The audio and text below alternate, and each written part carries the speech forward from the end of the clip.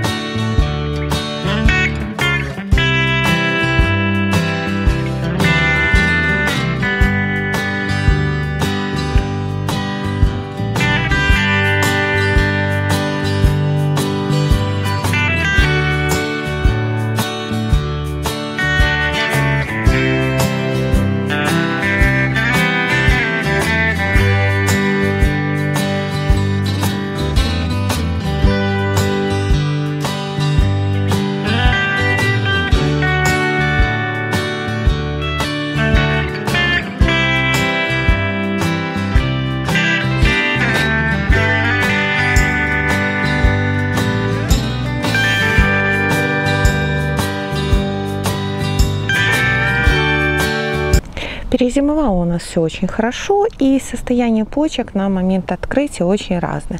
Смотрите, здесь они вот совсем такие небольшенькие по всей этой шпалере. На этой разные, у кого-то совсем такие большие, у кого-то поменьше.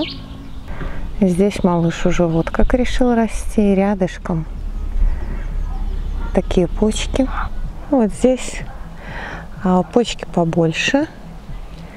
Там вообще узелги уже вот такие большие. Ну, везде по-разному. На самом деле, в большинстве своем а, почки еще достаточно небольшие, только в состоянии пробуждения, поэтому открытие не составляло никакого труда. Конечно, с одной стороны, да, где-то такие почки уже можно обломать, но лучше обломать их самим пару почек, чем если бы все у нас а, прихватил мороз. Молодежь тоже разная, где-то почки вот таком состоянии, в таком и вот в таком. Вот эти кусты я вам показывала уже несколько раз, начиная с прошлой весны. Э, я их высаживала в очень плачевном состоянии, посадила два в одну ямку. Я много раз рассказывала эту историю. Саженцы были невероятно слабые. И смотрите, что мы видим здесь. На одном из побегов даже гроздочка, мы в этом году увидим урожай. Но с другой стороны не обошлось и без потерь. Никогда к нам за 10 лет ни разу мыши не приходили. Ну, все когда-то бывает в первый раз. И мышки пронормировали нам некоторые кусты. Вот, смотрите, вот погрызенная мышкой почка. Причем вот она буквально недавно поела, а, когда почечка уже стала расти, стала зелененькой. Вот погрызенная. Ну и там дальше тоже тоже есть погрызенные почки. Конечно, мышь нам кое-что оставила, она просто пронормировала. Не так, как мы бы хотели, но спасибо ей, что хоть что-то оставила. И вот там у нее, судя по всему, была норка, был домик, оттуда она ходила и кушала. Много раз вы спрашивали про мышек, много раз я отвечала, что у нас никогда не приходит все хорошо. Ну, как видите, все когда-то бывает в первый раз, а поэтому от мышей надо защищаться и укладывать им какую-то отраву. Вот здесь вот видите, как они почки поели.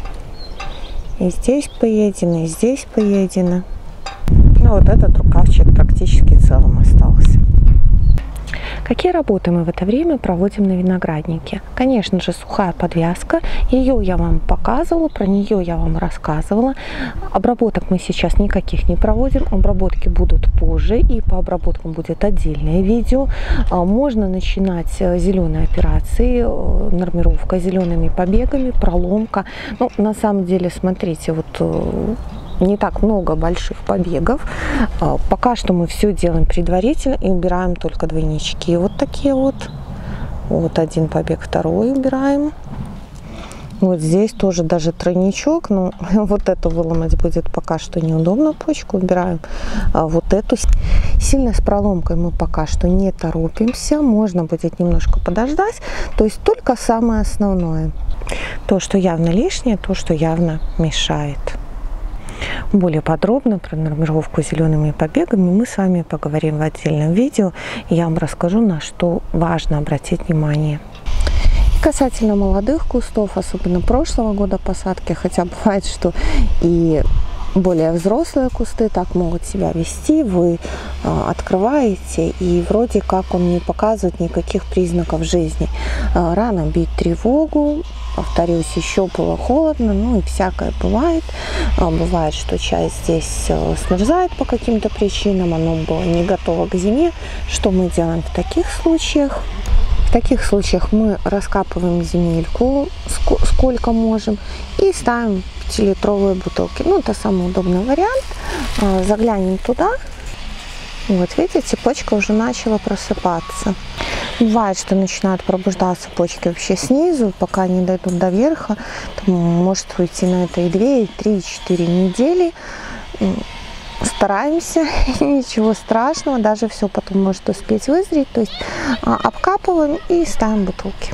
Ну а если все хорошо, так как здесь, то в общем-то пока что мы ничего не делаем, чуть-чуть подождем и тоже пронормируем. Видите, вверх немножечко, наверное, прихватила листики, здесь э, металлическая душка стояла, вот рядом с металлом немножко хватануло. А, кстати, это тот реформ, который я вам показывала тоже пару недель назад. Вот этот реформ я не обрезала, а вот рядышком кустик, который я весной обрезала. И посмотрите, насколько задерживается развитие почек. Видите, то есть там еще почки только-только, а здесь уже вот такие побеги. То есть прием работает, но как его уже применять, либо не применять, вы решаете сами. И пару слов э, про позднее открытие. Вообще позднее открытие, либо раннее, что лучше, что хуже. Ничего не лучше и ничего не хуже. Э, лучше то, что вам удобно. И, конечно, в каждом сезоне все может быть по-разному. Я считаю, что в этом сезоне нам очень повезло, и мы смогли продержать виноград э, под укрытием до того момента, когда пройдет опасность заморозков. Я надеюсь, что их уже не будет. При этом, да, я вам показала, что есть почки маленькие, а, есть, конечно, уже и побеги, но на всем винограднике их не так много. И в нашем случае лучше было обломать пару при подвязке, чем потерять всю вот эту зеленую массу, либо думать, э, как укрывать, бесконечно следить за прогнозом погоды, ну, это не самый лучший вариант, поэтому я считаю, что а, в этом сезоне нам все-таки повезло. Почва все равно еще холодная, пару дней назад я вам показывала и про это рассказывала, но сейчас придет тепло и виноград свое наверстает. На этом я с вами прощаюсь. Большое вам спасибо за просмотр. Подписывайтесь, ставьте лайки, пишите комментарии. Под видео, нажав кнопку «Еще» будет ссылка на каталог наших сортов винограда и мои контакты. И до новых встреч!